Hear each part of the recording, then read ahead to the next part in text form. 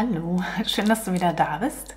Das ist heute meine Leinwand. Ich möchte so eine abstrakte Meerlandschaft machen, wie ich das da schon mal gemacht habe, aber noch abstrakter, also komplett gegenstandslos. Habe mich voll vorbereitet heute, nicht so wie beim letzten Mal.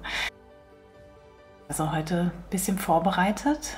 Ähm, ich habe hier meine Kohle und fange erstmal an zu kritzeln. Und ja, das habe ich euch ja schon oft erklärt, warum ich hier kritzel. Und das bringt mich einfach auch wieder auf neue Ideen. Und ich denke mir hier jetzt so Boote, weil eigentlich möchte ich auch ganz gerne, eigentlich, ja eigentlich, das ist schon ein blödes Wort, finde ich.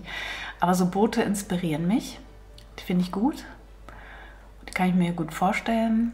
Und ja, ein, zwei, drei, vielleicht auch noch ein viertes. Ich kann mir jetzt hier auch die Knalle bunt vorstellen. Also jetzt passiert schon wieder ganz viel im Kopf.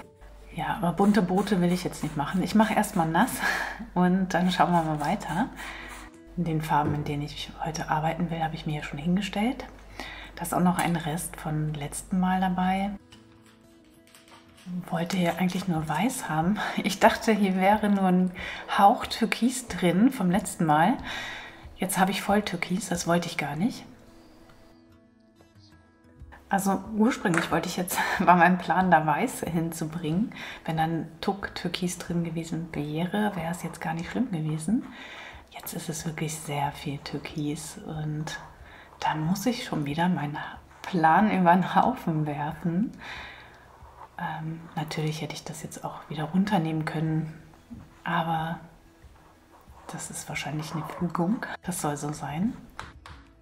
Ich mache das jetzt noch mal ein bisschen heller, also gebe jetzt Weiß nochmal dazu. Guck, dass ich das Türkis ein bisschen reduziere.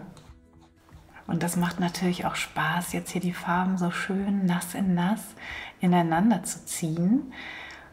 Ja, und ich merke schon, das wird heute gar nicht komplett anders, als ich äh, das machen wollte.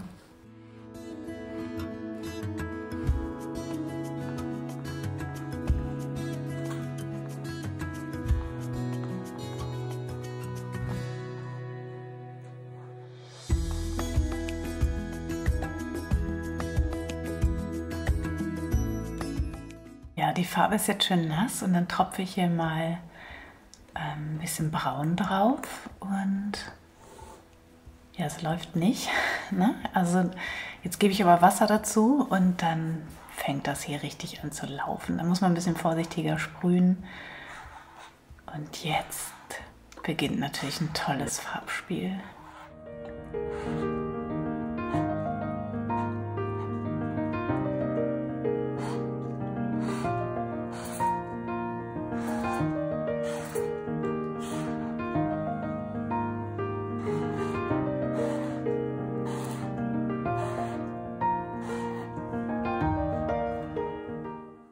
Ist schön, das sieht cool aus. Also es erinnert mich jetzt wieder an Rost. Ne? Es könnte jetzt wieder so ein Rostbild werden, ohne Struktur, einfach nur so. Oder, ja, mal schauen. Ich, ich weiß nicht, also es ist einfach schön. Ähm, ja, ich ruckel hier einfach mal so ein bisschen. Ich will keine Laufspuren haben. Ich will, dass die Farbe ein bisschen verläuft, aber keine Laufspuren.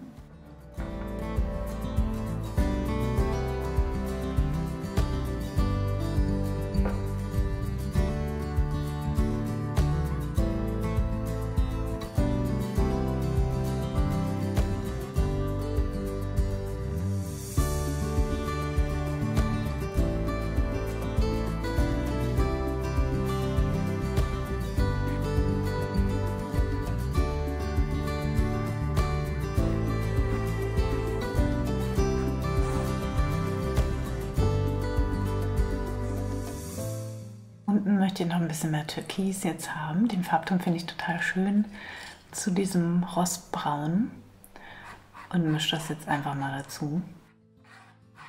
Der Farbton ist mir jetzt zu kräftig. Ich brauche das doch ein bisschen heller und es ist auch müßig mit diesem Malmesser. Ist mir zu unruhig. Ich nehme jetzt einfach nochmal Weiß dazu und dann nehme ich einfach hier meine Abdeckung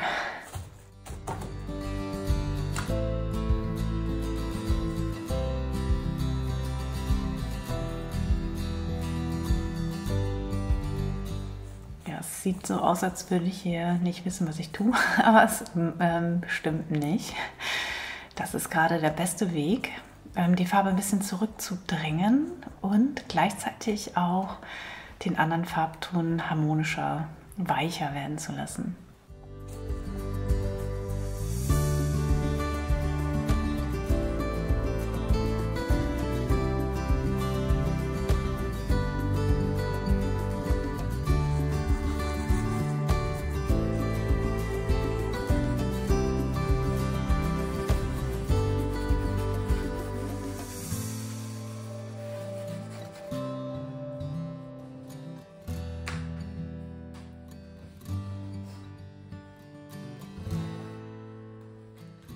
Ich hatte mir Blau angemischt, verschiedene Blau-Farbtöne. Aber mit dem Türkisen muss ich sagen, passt das natürlich auch viel besser. Also dieser Farbton, der Rostton, passt super zu dem Türkis. Auf jeden Fall viel Spaß und gute Laune. Da kann man hier auch so ein bisschen die Farbe schmeißen.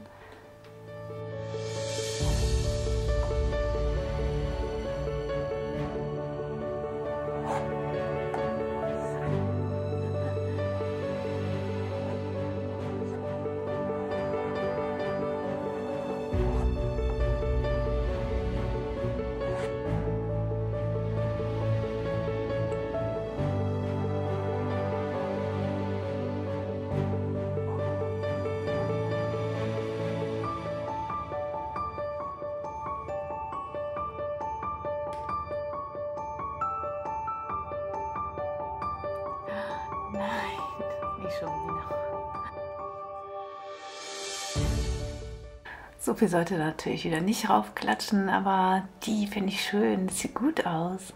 Hier verstreiche ich es noch ein bisschen.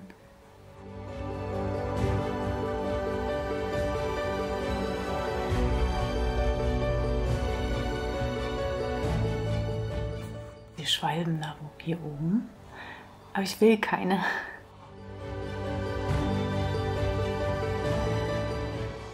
Zeige dir das mal von nahen. Hier sind so schöne Effekte jetzt drin und ja, das entsteht einfach so über den Fluss, über den Farbfluss, über das Wasser. Schau mal hier, das sieht echt toll aus, richtig schön. Und so lasse ich es mal kurz trocknen. Ich glaube, ich bringe es mal schnell raus oder ich föhne.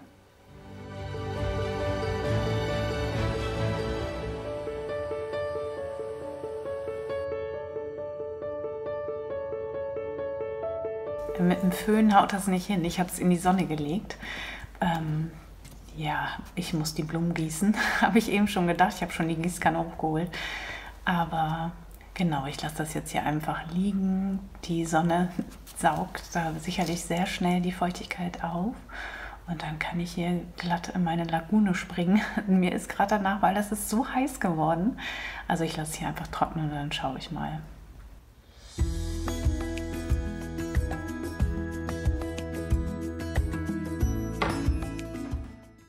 In der Zeit, wo das eben draußen lag, habe ich einfach noch ein anderes Bild ähm, dann mit der Farbe bemalt, weil der Farbton mir doch ganz gut gefällt.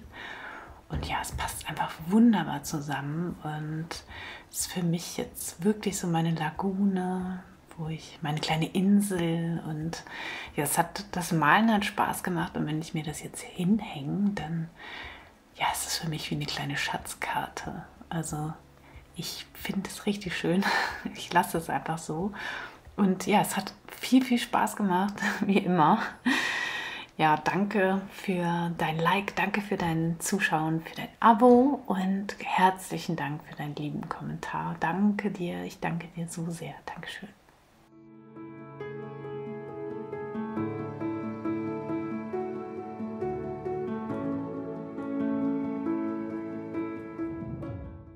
Buch auf Seite 122, da findest du abstraktes Farbenspiel und da kannst du noch mal reingucken. Da habe ich dieselben Werkzeuge benutzt, dieselben Farbtöne sind da auch. Also so siehst du, dass man mit denselben Farbtönen eben auch ganz anders arbeiten kann und kommst vielleicht auch wieder auf neue Ideen. Also lass dich inspirieren und am besten inspirierst du andere. Danke fürs Zuschauen und einen ganz schönen Sonntag für dich. Ach ja, in der englischen Ausgabe ist es immer zwei Seiten weiter. Tschüss!